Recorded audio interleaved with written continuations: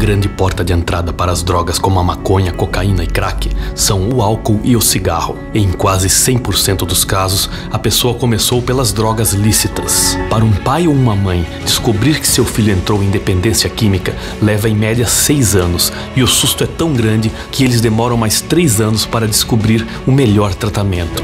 Evite que seu filho entre nessa. Converse com ele e sejam pais presentes em sua vida. Entre os dias 4 e 7 de novembro, vai acontecer em Mococa a primeira virada da prevenção Free Mind, uma ação de prevenção junto a crianças e jovens, mostrando a dor e o sofrimento que as drogas trazem às famílias. Um jovem prevenido vale por dois. Free Mind, mania de ser feliz.